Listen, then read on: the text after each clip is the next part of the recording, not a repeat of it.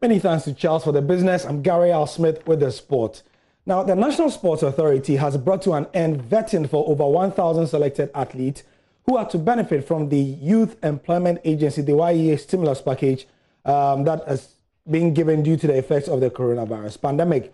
The exercise, which was fixed at the Accra Sports Stadium, was to verify the authenticity of the selected athletes by the various federations and associations. So each athlete selected is expected to receive a monthly stipend of 500 Ghana cedis from the Youth Employment Agency. It's all in a bid from the government to alleviate and lessen the impact of COVID 19 on sports people in Ghana. Now, joining us on the phone is Charles Amofa, who is the acting public relations officer of the NSA, to update us on their work so far. Charles, good evening and welcome to Joy News. Good evening, Senior. So, your agency were doing vetting. Tell us what criteria were you using to vet these people? Well, let me say a good evening to our cherished listeners and uh, to the Honorable Minister, Honorable Kwame Efiama, who is the initiator of this whole process. Um, the vetting committee has uh, done its work. The exercise came to an end this evening, and uh, there will be a mop up for any other, uh, you know, um, individual or association who were not able to submit their list within these two weeks. And uh, a final report will be sent to the Director General. And you, what, what is happening is uh, we're overwhelmed by the number of eligible um, athletes for this program.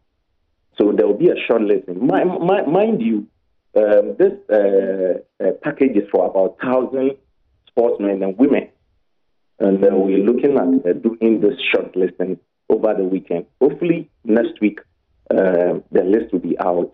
So I wouldn't say much about this uh, for now. But we'll thank the, His Excellency, the President, for giving you know, this opportunity for us to be able to support our brothers and sisters who are in the sporting industry, those who are not earning any income and then this uh, package is going to help them for the next six months. Hopefully, the YEA is also going to, uh, based on the success of this uh, package and then the exercise, they are expecting us to also collaborate with them to extend it for another six months.